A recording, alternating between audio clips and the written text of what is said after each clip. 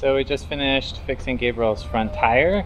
Now we're gonna go head out to Crane Point because we have like an extra hour we can go there and then we're gonna go to a super cool spot that some friends of ours showed us that um, you can go snorkeling straight from the banks. So if you don't have access to a boat or you don't want to pay for a tour and you're staying in Marathon, this is a great place to come check out.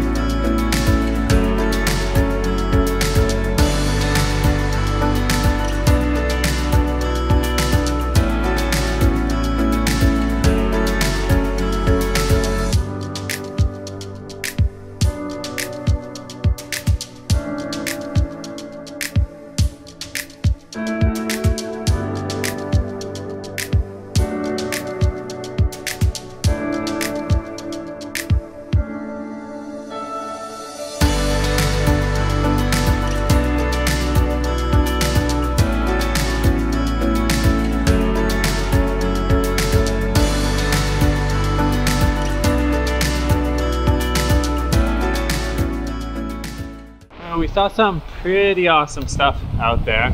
We saw um, cowfish, um, horseshoe, horseshoe crab. crab. Yeah, that was pretty cool. Lobsters. Huh? Yeah, three lobster, and we'll show you in there. snapper. And some mangrove snapper. I didn't see any yellowfin. Oh, mangrove snapper. I tried to get a video of the mangrove snapper, but they're a little bit far away. Um, and then the wind picked up, but it's surprising how clear it still was.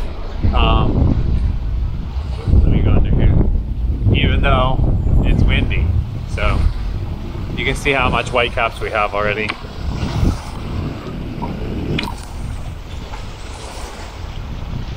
Yeah, it's normally a lot clearer than today. Let's see if I can get out of the wind a little bit. Um, so yeah, all in all, I think it's kind of the perfect spot to just come quickly and to do a short little swim. It's not like a huge big excursion you have to do, um, but you can just hop in the water and see some pretty cool stuff. Um, especially if the wind is coming from the southern side of the island, this whole area is going to be super calm. Um, right now it's kind of coming from the um, west northwest, so it's really not the best day to do it, but um, often it's coming from the south, um, southeast. So it's going to be a lot calmer here and just really great place to go snorkeling. So here we see how to get there from the airport. All you do is from Route 1, you go to Aviation Boulevard until you get to Grouper Drive and just go to all the end of Grouper Drive. Once you hit the water, you're there. Now, I really do think this is the best place to snorkel in Marathon right from the shore. A lot of people will tell you to go just to Sombrero Beach, but Sombrero Beach does not have good snorkeling. There's not much to see, and it's almost always super murky. My next favorite place would definitely be Sister Rock, which we have a whole episode about. But you need at least a kayak to get there. It's a half a mile from Sombrero Beach. And if the wind is coming from the south, it's often very choppy. If you are also planning to go on a snorkel tour but haven't done any snorkeling before, is also a great place to just practice out some snorkeling but also still have fun. I did this with my sister. She had two kids and we had a blast just looking at all the stuff there and just them getting used to being able to snorkel. Another place that we really enjoy going is Horseshoe Beach, but this is not on Marathon. It's right before you get to Big Pine Key, and we'll be having another episode about that later. Uh, So we made it to Marathon and have been there for over a year and I'm loving it. So happy that you can come along and we're going to show you how we got there and some adventures along the way.